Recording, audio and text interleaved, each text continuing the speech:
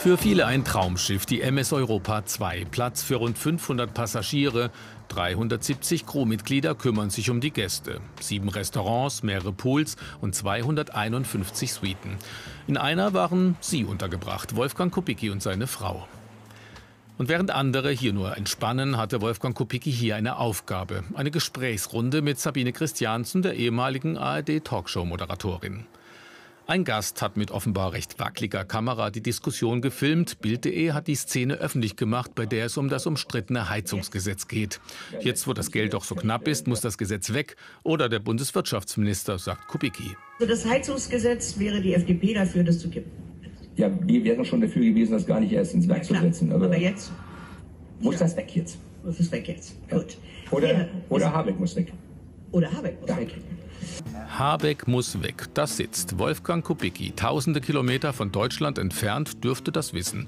Er haut mal einen raus gegen den eigenen Koalitionspartner. Das kommt in Berlin nicht gut an. Aus den Reihen der Grünen heißt es, Jemand, der das Amt des stellvertretenden Bundestagsvorsitzenden ausübt, hat natürlich eine gewisse Vorbildfunktion. Gerade in Zeiten, in denen wir intensiv über Haushaltsfragen sprechen, ist es da fragwürdig, sich eine Kreuzfahrt sponsern zu lassen.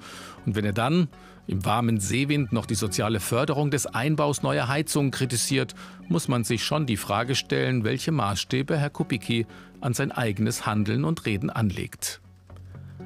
Und von der SPD heißt es, scheinbar ist Wolfgang Kubicki die karibische Sonne etwas zu Kopf gestiegen.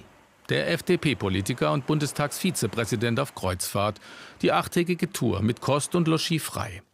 Auf unsere Fragen, welche Art von Unterkunft gewährt wurde, wie hoch die Kosten waren, wollte das Büro des Politikers heute nicht eingehen.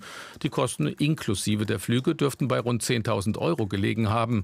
Durfte sich Wolfgang Kubicki diese Reise bezahlen lassen? Sarah Schönewolf, die für Abgeordnetenwatch Politikern auf die Finger schaut, sagt, kommt darauf an.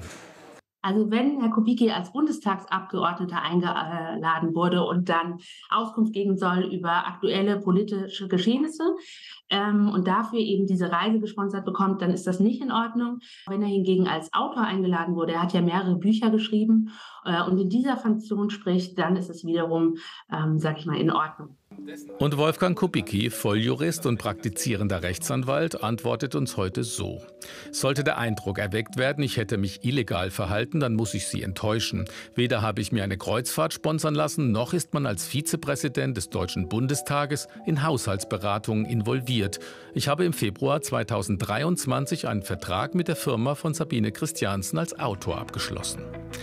Acht Tage Luxus genossen und wieder Schlagzeilen produziert. Für Wolfgang Kubicki muss es eine Traumreise gewesen sein.